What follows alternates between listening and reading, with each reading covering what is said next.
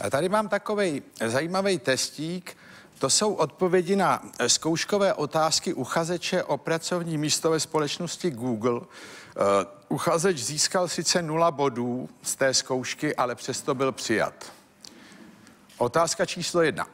Během které bitvy zemřel Napoleon? Odpověď během té poslední.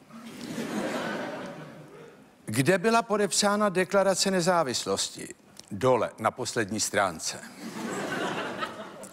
Hlavní příčina rozvodu? Svatba. Hlavní příčina neúspěchu? Zkouška. Co jste nikdy neměl k snídani? Oběd a večeři. Co vypadá jako půlka jablka? Druhá půlka. Pokud hodíme červený kamen do modrého moře, jaký bude? Mokrý. Jak může člověk jít 8 dní bez spánku, bez problémů, vždyť v noci spí? Pokud budete mít tři jablka a čtyři pomeranče na jedné dlani a čtyři jablka a tři pomeranče na druhé, co budete mít? Opravdu velké dlaně.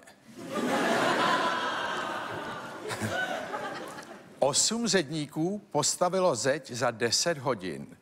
Kolik času to zabere čtyřem zedníkům? Nezabere jim to žádný čas, zeď již byla postavena. Jak můžeme hodit vejce na betonový základ tak, abychom ho nerozbili? Jakkoliv. Vejce v žádném případě nepoškodí betonový základ. Tak, to by bylo všechno. No. Je tady... Je tady, prosím, pan Odvárka? Je. Můžeme začít.